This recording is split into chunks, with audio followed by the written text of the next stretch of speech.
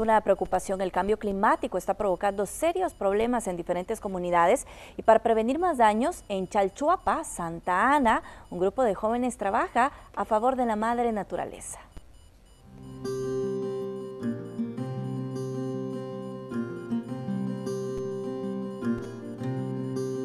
Creatividad y dedicación son las palabras que describen el diario vivir de este grupo de jóvenes que trabaja bajo los techos de una vieja casa en la histórica Chalchuapa. Manos encargadas de transformar desechos en artículos de gran utilidad. Pues nosotros buscamos incentivar a las personas, ¿verdad?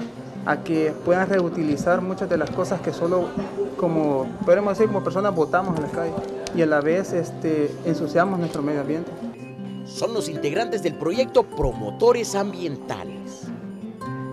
Botellas, bolsas y cualquier otro desperdicio se convierten en materia prima para sus creaciones. El trabajo es enfocado en cuidar el medio ambiente. No solo reciclan, otra de sus prioridades es reforestar.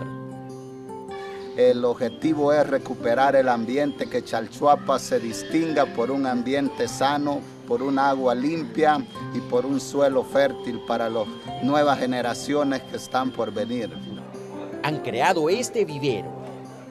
Arbolitos que luego de un mes de cuido son sembrados en zonas literalmente devastadas. Este camión es su medio de transporte, lo lleva hasta sus objetivos Imparten charlas además en centros educativos con el fin de promover sus trabajos. Un proyecto apoyado por la municipalidad ante el impacto climático que el país atraviesa. Nos estamos quedando sin agua y necesitamos con urgencia para apostarle a, lo que es eh, las áreas naturales que se, que se mantengan y que se puedan fortalecer. Quienes integran la iniciativa saben que el trabajo no es en vano. Todavía estamos a tiempo porque el medio ambiente estamos, estamos destruyéndolo cada día que pasa, lo destruimos, tanta fábrica, contaminación de los ríos. Es bonito que lleguen estos proyectos porque es una causa donde nosotros podemos ayudar ¿verdad? a reconstruir lo que es el medio ambiente.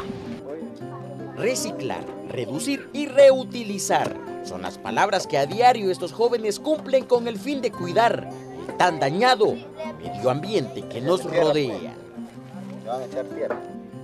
Y ahí van, los promotores ambientales rumbo a otra misión. La tarea que les espera es ardua, teniendo en cuenta que la meta es sembrar en lo que resta del año 60 mil arbolitos más. Con imágenes de Alfredo López, Julio Guevara, Noticiero Hechos.